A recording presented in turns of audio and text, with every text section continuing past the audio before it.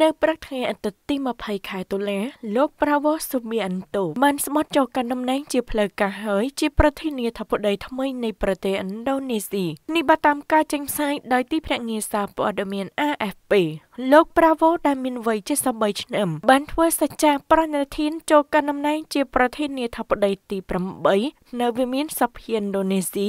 បន្ទាប់ពីលោកលោកបានទទួលជ័យជំនះក្នុងការបោះឆ្នោតកាលពីខែកុម្ភៈឆ្នាំនេះទន្ទឹមគ្នាលោកគីប្រែនរ៉ាកាប៊ូមីងរ៉ាកាដែលត្រូវជាកូនប្រុសច្បងរបស់ប្រធានាធិបតីផុតអាណិតលោកជូកូវីដូដូក៏បានស្បត់ចូលកាន់តំណែង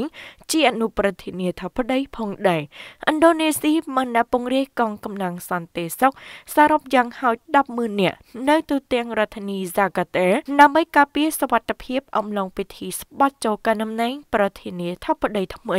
ក្រោយចូលកាន់តំណែងជាផ្លូវការនៅថ្ងៃអាទិត្យលោកប្រាបូវូត្រូវបានរំពឹងថានឹងជួបជាមួយអ៊ីស្រាជនក៏ដូចជាប្រមុខរដ្ឋរដ្ឋាភិបាលបរទេសថែមទៀតផង។ គូមិញចាថាមុនបានខ្លាយជាប្រធានាធិបតីលោកប្រាបូវស៊ូប៊ីអាន់តូធ្លាប់បានចូលរួមនឹងចាញ់ការប្រកួត ក្នុងការបោះឆ្នោតសកលពីលើករួចមកហើយគឺនៅឆ្នាំ2014និងឆ្នាំ